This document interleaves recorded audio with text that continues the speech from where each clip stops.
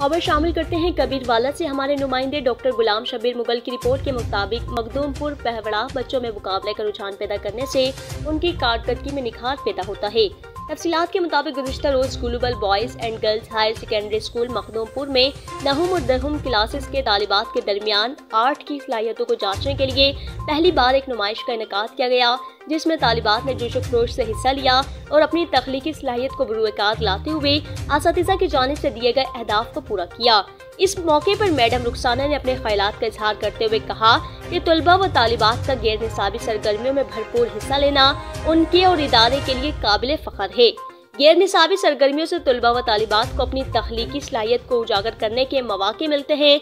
इस मौके पर सरवकार और मिस जावेद और दीगर स्टाफ भी मौजूद थे।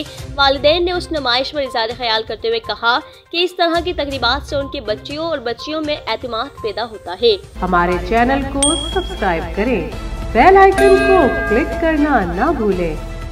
शुक्रिया।